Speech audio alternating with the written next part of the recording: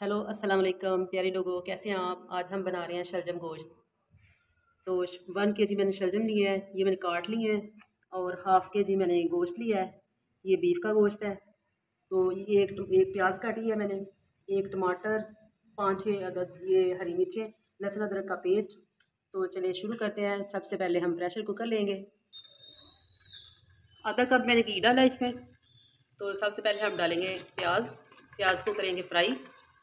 प्याज को हमने ब्राउन नहीं करना, हम डालें सोते हो गया हमारा प्याज तो हम डालेंगे अब इसमें लहसुन अदरक का पेस्ट और हरी मिर्च।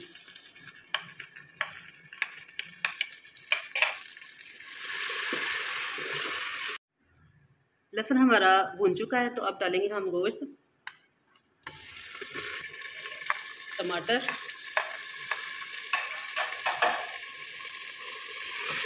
इसकी बुनाई करेंगे दो से तीन मिनट। दो से तीन मिनट हमने इसकी बुनाई कर ली। अब डालेंगे हम मसाले। हाफ़ स्पून डालेंगे नमक। आप अपनी क्वांटिटी के हिसाब से डालें। हाफ़ स्पून डालेंगे लाल मिर्ची पाउडर और हाफ़ स्पून डालेंगे हल्दी। बाकी मसाले हम बाद में ऐड करेंगे। इसमें डालेंगे हम पानी। दो तो गिलास मैंने पानी डाला है और इसका ढक्कन कर देंगे बंद। दस मिनट हम इसको लगाएँगे वेट। तो हम डाल के किसी अलहदा से देचकी में तो बॉयल करेंगे।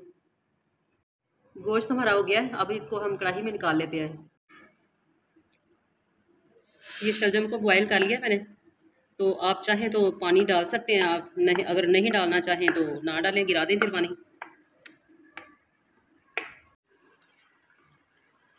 ऑयल निकालेंगे।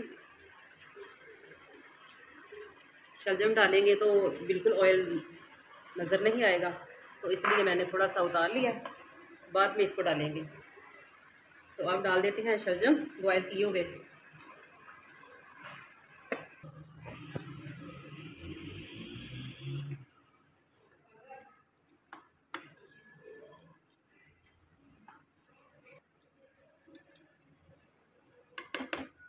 ये आधा मैंने पानी ज़ाया कर दिया है तो आधा मैंने डाल दिया है, क्योंकि गजाइत भी है तो इसमें शामिल है गजाइत पानी में।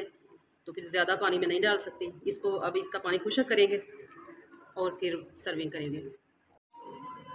अब डालेंगे हम ज़ीरा हाफ़ स्पून डालेंगे खुशक धनिया पाउडर दो चुटकी डालेंगे हम काली मिर्च। हमारे शलजम डन हो चुके हैं। हम अब अब हम इसको करेंगे सर्विंग किसी बस। ये ऑयल जो मैंने निकाला था ये ऊपर डाल देंगे अब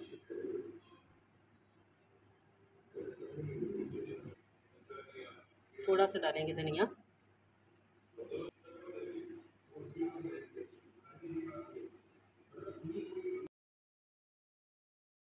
मज़ेदार शलजम गोश्त तैयार है।